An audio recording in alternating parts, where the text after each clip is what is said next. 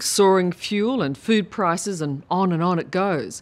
But I've managed to find a tiny glimmer of hope, a community that's beating the 21st century blues, a place that gives people power a whole new meaning. There are no electricity or water bills, they grow their own food and recycle everything. They've simply unplugged.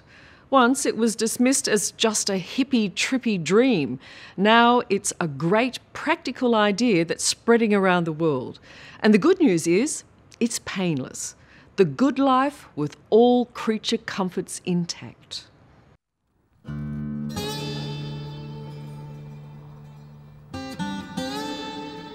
Taos, New Mexico where the Rio Grande carves its way through as harsh a landscape as you'll find anywhere. yeah. Out here in the desert, they're building homes that could change the way we live, how we eat, where we sleep, how we survive. Right on. We can make a home, make its own electricity, harvest its own water, contain and treat its own sewage, uh, heat and cool itself, use byproducts of the world, uh, produce food anywhere. And we can put a family of four in there and they don't need to do anything. Mike Reynolds is an architect who builds what he calls earthships. Totally self-sufficient homes out of garbage. Tyres, Beer cans, bottles, all the leftovers from an affluent society are put to good use. Mike Reynolds has been doing this for 35 years and now he's built a whole town from trash. You must have known you had a difficult message to sell.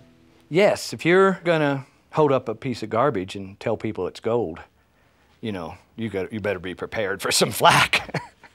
and everybody called me a fool and called me a fool and called me a fool, and now recycling's the thing to do, you know. This is an amazing achievement. It comes at a time when we're struggling to deal with the effects of climate change, restricted water, rising fuel and power costs, even maintaining basic food supplies. We're not necessarily looking at trying to change the planet as much as trying to make it so more people can survive. Because things, things are changing, regardless of whether we want to accept it. I don't care if they accept change or not. I don't care if they accept global warming or what they call it or who caused it. I don't care about any of that. I care about how do we live through it. And that's what Earthships are about, is living through it.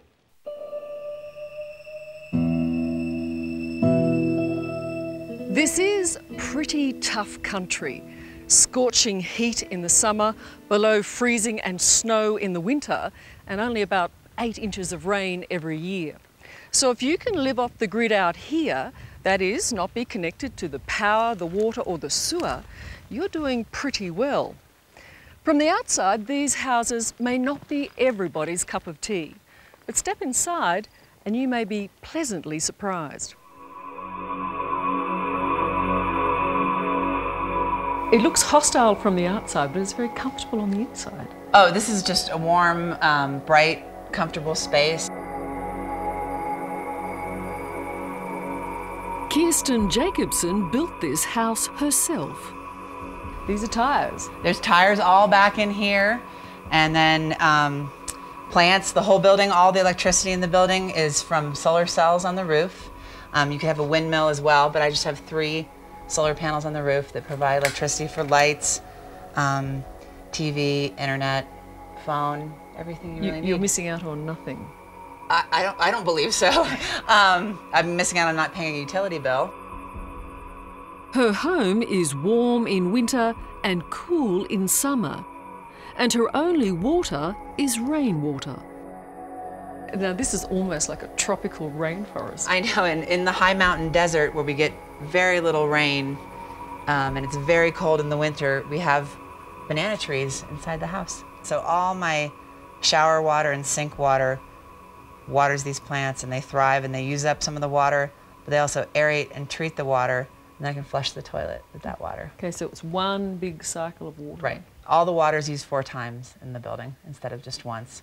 And so we take eight inches of rain and multiply it times four. That's how we're able to live just off the catch water. And if we can do it here, you can do it almost anywhere in the world. Mike Reynolds is constantly working on his designs. The Phoenix is his biggest project yet. Out the back, you can see how these houses are put together. This is the like the tire I was pounding up there. Yeah. This is how hard they get, see? And they're swollen up mm. and they're resilient. It's getting rid of something that we have mountains of that we don't know what to do with, and it's low tech. And this material is indigenous to the entire planet. If Taos is not your style, then maybe this is. On this small patch of Queensland's Gold Coast, they're also building entirely self sufficient homes. It's the same principle, but instead of tyres and cans, it's earth and cement. These are the essentials. This is the backbone, the spine of the house, and this is what regulates the temperature within the house and keeps uh, thermal inertia so that it's when it's hot outside it's nice and cool and when it's very cold outside it's nice and warm in the, in the home. Chris Walton is developing the Eco Village at Currumbin, a model for the way we could all live.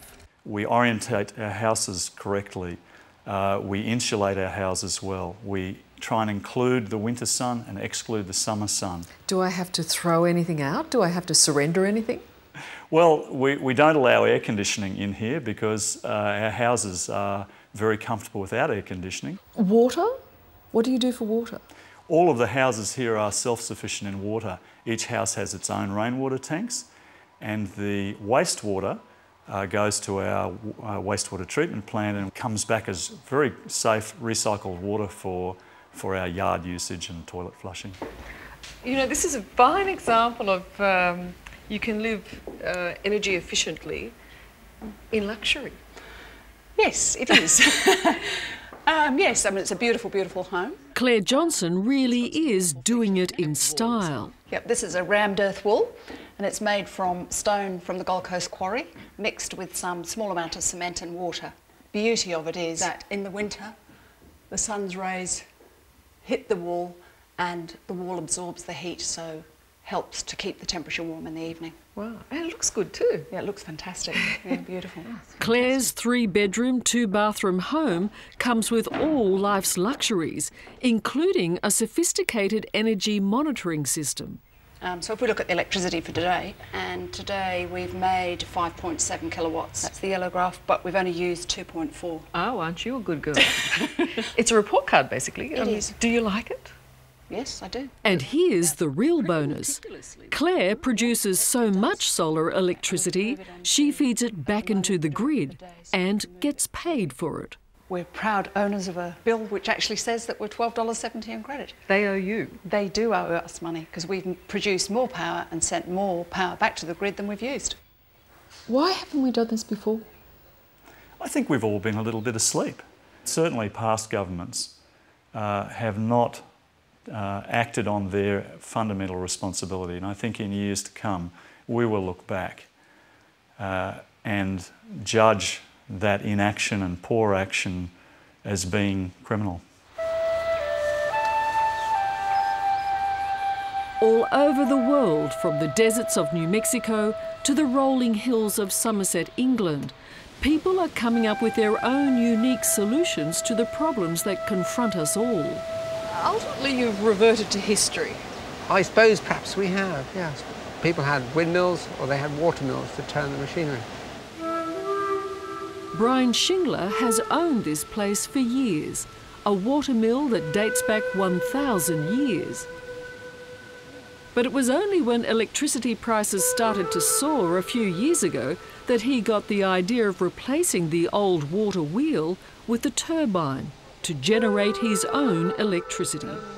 So it's all about the drop. Yes, it's about a five metre drop and it's about a half a cubic metre per second of water that is able to produce that power, about 10 kilowatts at the moment. That's not bad, is it? Well, it's enough to power 10 or 15 houses, the average rate of consumption. Now the idea has caught on, and Brian is part of a consortium of watermill owners who sell their electricity back to the power company. Brian makes a profit of £3,000. That's more than 6,000 Australian dollars a year.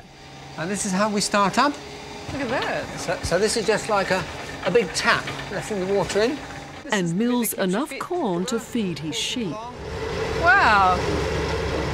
That's very good. It's been an amazing turnaround. Finally, rebels like Mike Reynolds have become the voice of reason for a desperate planet. You were laughed at, were, were you not, when you told your architectural colleagues? Uh, well, I was more than laughed at. They said I was a disgrace to the architectural community. And since then, I've heard that many times. That was just the first time. you yeah, it. just the beginning. It must have irked you so many times. Having to, having to, you know, Refrain from killing people. yeah.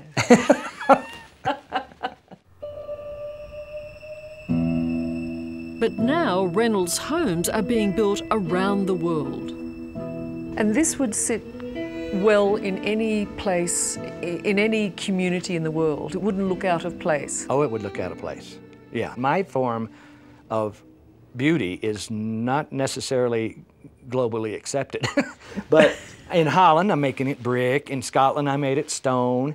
Uh, in Jamaica, I'm making it with verandas. And so I'm, I'm making it palatable. I'm starting to wise up onto that, that, that no matter how good something is, people will die before they'll use it. For years, Mike Reynolds was regarded as a hippie architect gone mad. Now his time has come. He still may be a hippie, but no one thinks he's mad anymore. Eternal greenery. Yeah, that's the that's cleaning up your bathwater. I knew that it would happen. I mean, because uh, you could see it. You could see it 35 years ago, and now it's needed. So we're, you know, we're confident. We can do anything, anywhere. You know, we're even cocky.